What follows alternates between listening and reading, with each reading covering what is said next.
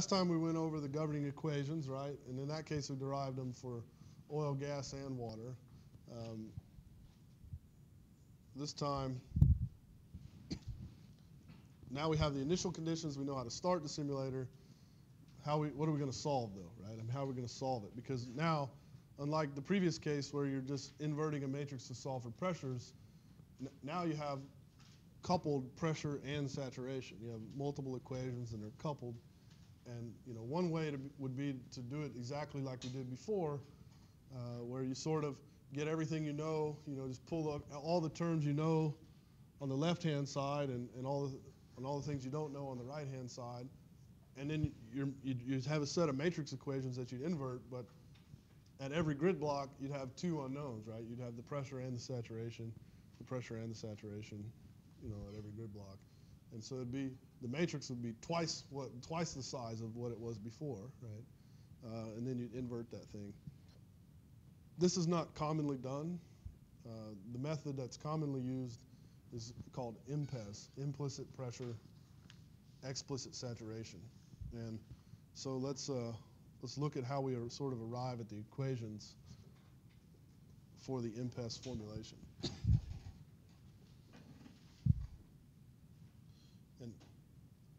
And I don't mean to imply that the, they're different equations. They're the same. We just manipulate them a little bit. So here we're just going to consider water and oil. So we derived it already, but just to recap, the the um,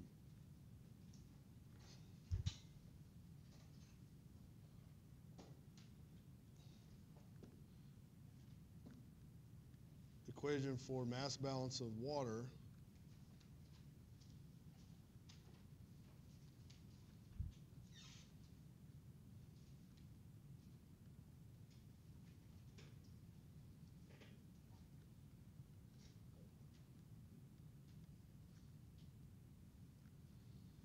is like that.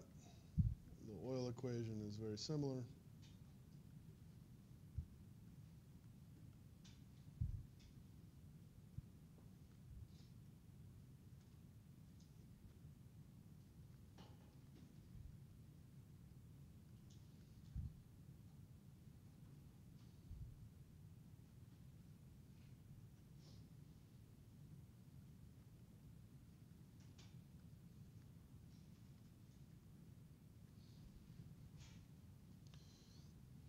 And we're going to do a few manipulations. So um, we're going to first look at this term.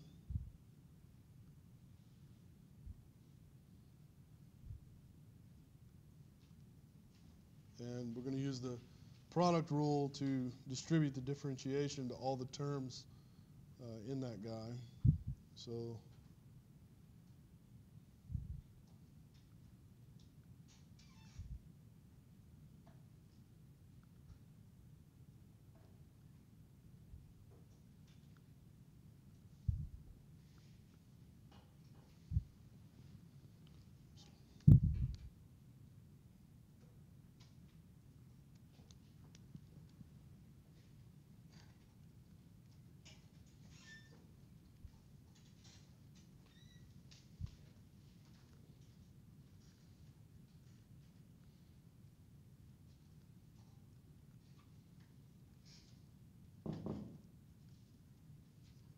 like that.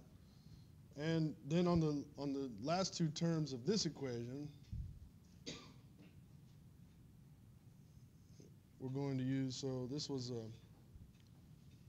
product rule. And then on the last two equations here, we're going to use the chain rule. Because both BO and uh, the, the formation volume factor of oil and the formation and the uh, porosity are functions of pressure.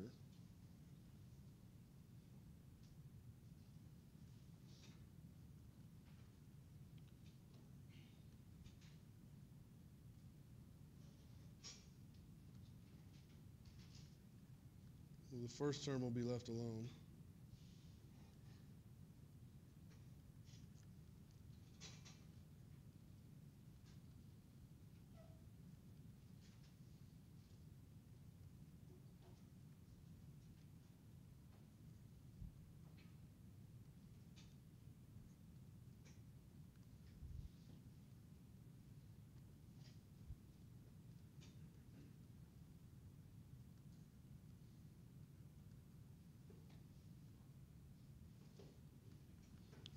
So kind of two steps in one, but everybody see what we did there? We, since the formation volume factor and the porosity are functions of pressure, we instead of d d phi dt, we said d dp uh, d dp dt d phi dp, right?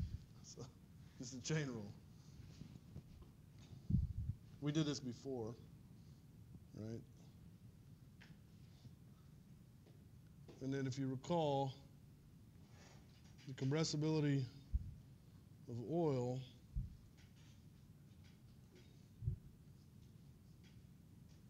is this guy.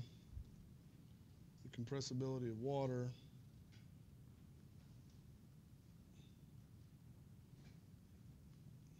is this. And the compressibility of the rock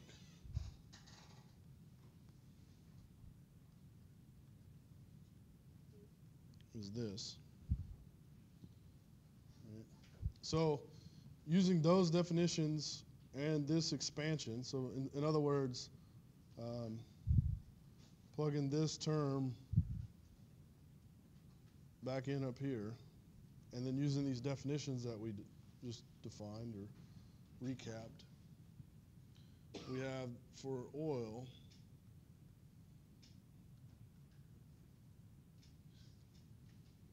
Um, I'm gonna, I'm gonna go to the next page.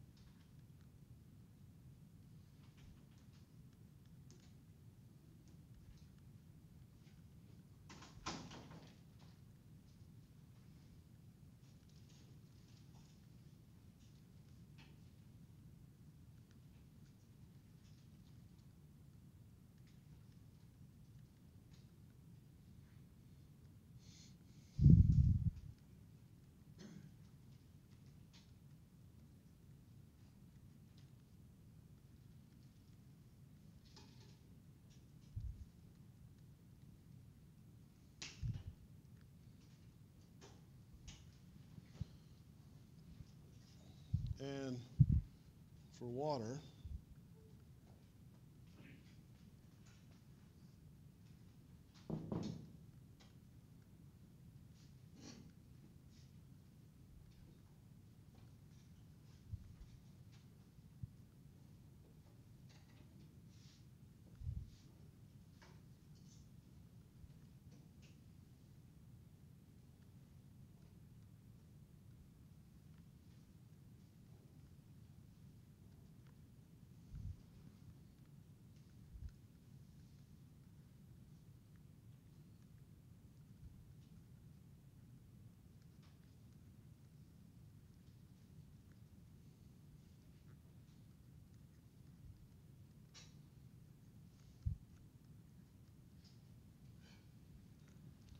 we have that. Now, this is the reason I wanted to go to the next page. So, what I'm going to do is, I'm going to first thing I'm going to do is multiply the first equation on both sides by BO over BW. Right, I can do that. I can multiply an equation. As long as I do it to both sides, I can do whatever I want, right? Multiply on both sides. So the reason for that is that I want the BOs to cancel. I want BWs in the denominator for the next step. So, and you can, you can see with that, I mean, just look at the first term. Then I have something that's similar, right? I have uh, phi over BW partial SO partial T phi over BW partial SW partial, partial. So have sort of common denominators there. And so then if I just add the two equations together, then I get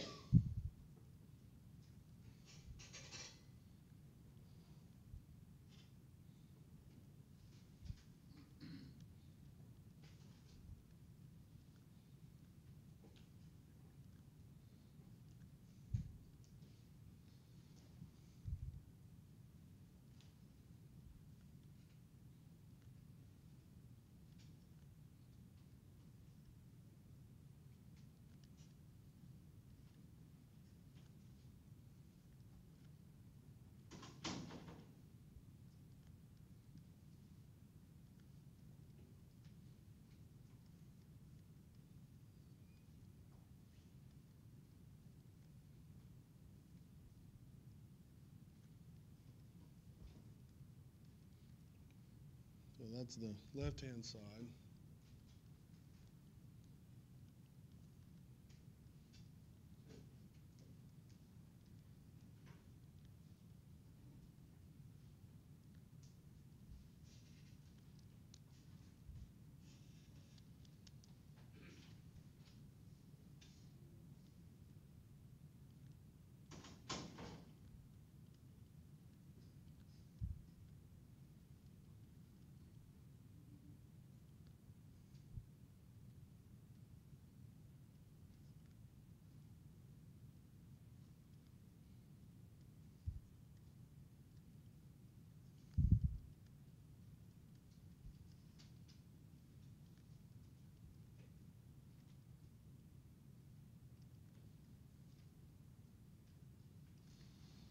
So this is just another way to, I mean, this is the, this is the conservation of mass. It's just, you know, before we had conservation of the volume fraction of water and the conservation of the volume fraction of oil. Now we're adding them together. So it's the, the, the conservation of, you know, the mixture, mass of the mixture, right? And so uh, what's sort of over here on the left is like your compressibility terms, and then this is your in and out plus, you know, so this is a, a flux in and out uh, plus oil produced, oil and water injected or produced. Okay. What about this first term? So I, I could I could rewrite that first term. Would everybody agree? I could rewrite it like this. You can just pull the differential operator and have it operate on each of them, like that. So yeah, there, there'd also be the.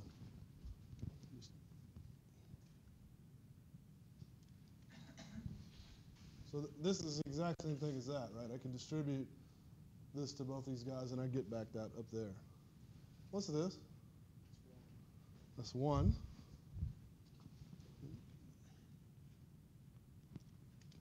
What's the time rate of change of one? Zero. So that whole first term goes away.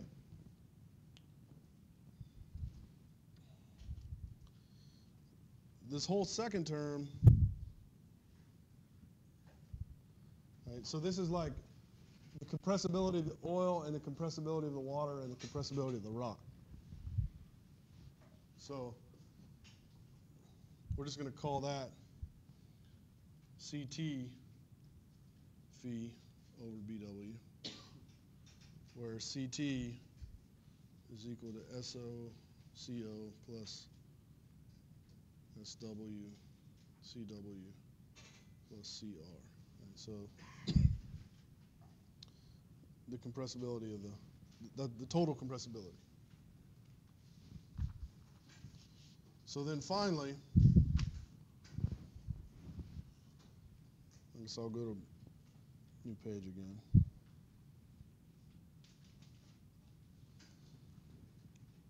We have the overall mass balance.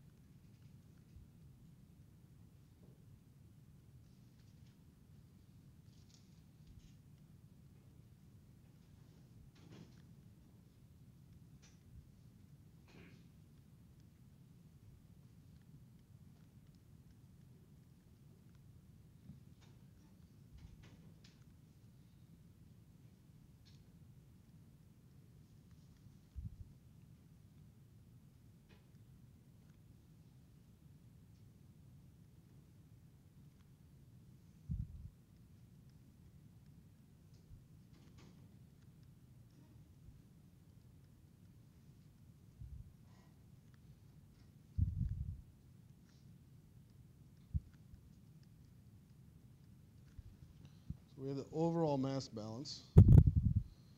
Can, can we solve that equation? What's the unknowns?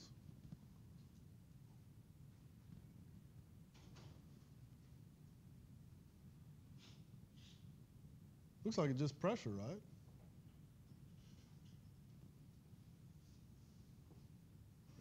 But our CT is a function of saturation, right, as we defined it.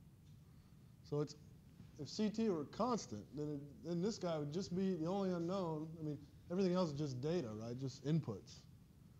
The only unknown is the pressure field. So if CT were a constant, we could just solve that guy.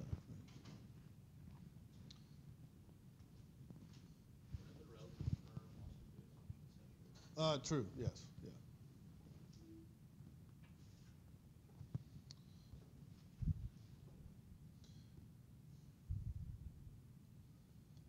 Yeah. I mean, that's really. Uh, I mean, technically it's unknown, but it's a constitutive relationship, right? I mean, if we, yeah, but yeah. The way it looks, though, it's written like it looks like the only unknown is pressure, right? And so this is we actually solved this equation implicitly for pressure, and then we need a second equation.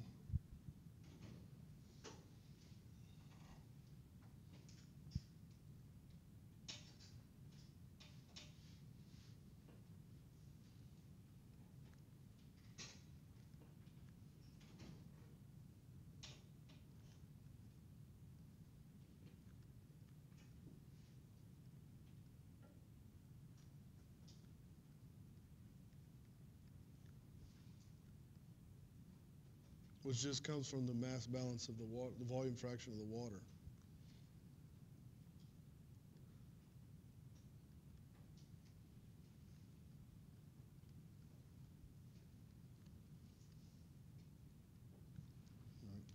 And so we solve this i i uh, explicitly.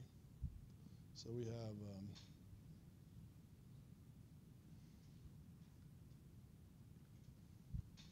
solve this implicit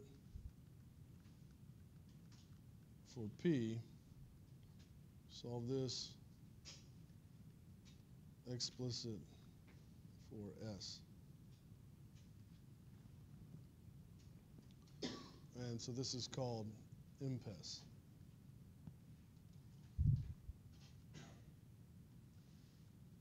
Implicit pressure.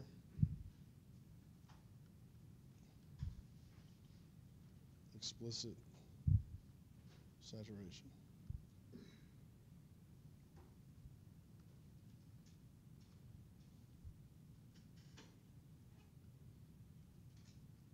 IMPES.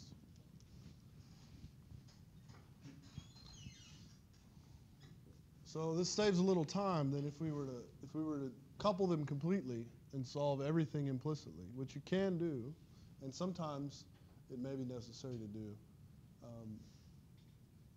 under certain conditions. But if you were to do that, then you're, you know, you're basically, your matrix is twice as big that you have to invert. And inverting a matrix is the sort of most expensive thing in, a, in the solution scheme that you have to do, right? So you, you don't want to double its size. It's, it's, you're going to quadruple the, the expense at best. So, uh, so we solved the first equation for the pressures, and then we use we just stick those pressures into this second equation and update the saturation explicitly. So in the second equation, you don't have to invert a matrix, right? You're just using it.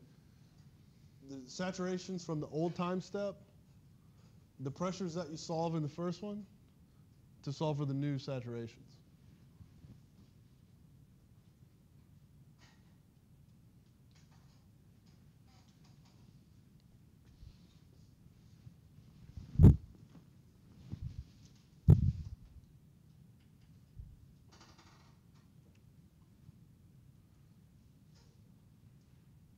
You guys want an extra 20 minutes to study for your exam?